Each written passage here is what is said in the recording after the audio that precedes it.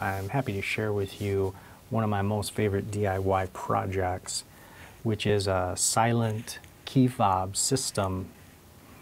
It starts out with this leather key fob, which uses a design that has been repeated often out there in the DIY and sort of EDC communities. Very nice design, which uses kind of a Chicago screw style post, and then the keys uh, rotate on that post. Um, I made this out of an old like leather cuff that I never wore and at the same time the leather was pretty good. But what I really like about this is that it's a very silent system. And when folded, you know, it's, it's much more comfortable in the hand as well as in a pocket. Oftentimes this design is um, made out of some kind of metal, aluminum often, and that still doesn't feel great in, in a pocket. Whereas like just like it's a little more plasticized with the leather feeling, it's just like better in hand, better in a pocket. And one of the side benefits is that, you know, when you pull out your key, you, you got this extra torque by having this whole thing as a unit. Even this little screw sticking out just kind of makes opening a door somewhat more ergonomic. But the thing that's kind of special about this is that it uses this, uh, I think it's three millimeter utility cord. Got this at REI. And then it's got this Cobra weave onto a carabiner. And the thing that's cool about it is that it causes there to be like tension, just a slight amount of tension on the ring so rather than being really floppy, as most key rings are, there's just like a slight amount of resistance at either end. There's this grab that the rope has and it just it makes it kind of enjoyable to manipulate. Where I work, every time you leave a room, the room has to be closed just because a lot of traffic and you know you don't want someone to wander off with your personal effects. I, I open doors 50 times a day. This quick release action, like if I wear this on my belt, just like having that not flop around and to be able to just open something quickly, like it's just, it's silent, lightweight, provides like a visual of where my keys are. I usually use this one actually. It's like slightly a slightly larger ring. So it just it sort of fits up into this area a little bit better, a little brighter, a little easier to see. So that's on there right now. And it's like there's no flop in it whatsoever. And at the same time, it is malleable. So let's take this off.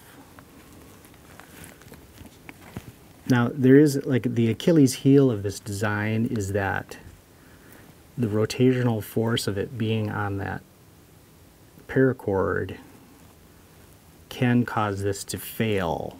So like some Loctite or some other method of keeping this from undoing itself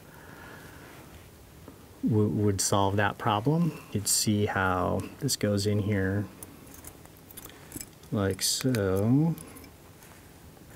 And then I've actually, you know, put, used a, a hot knife to put my name in there. I've had to just slightly file this type of key. The larger work keys go on there, no problem. And then I've just put some scrap leather as kind of a tensioner and then put the smaller keys near the center, this larger surface area key at the outside. And my bike key, which is really nice because that, that wide flat plastic provides this excellent base to kind of compress the leather, like so.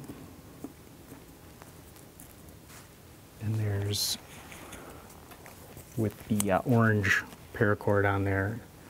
technically, I think it's a three millimeter utility cord. I got this at REI. It comes in, I think, 50 foot lengths for, I think, $12. And it's a really nice textured utility cord, whereas the paracord can be sort of softer. This has, a, a, I think, a better firmness.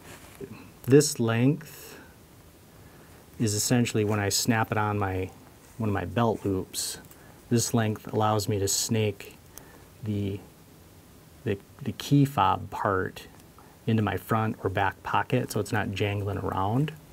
And just like the action of this carabiner is really nice because you just you can feel that it's there.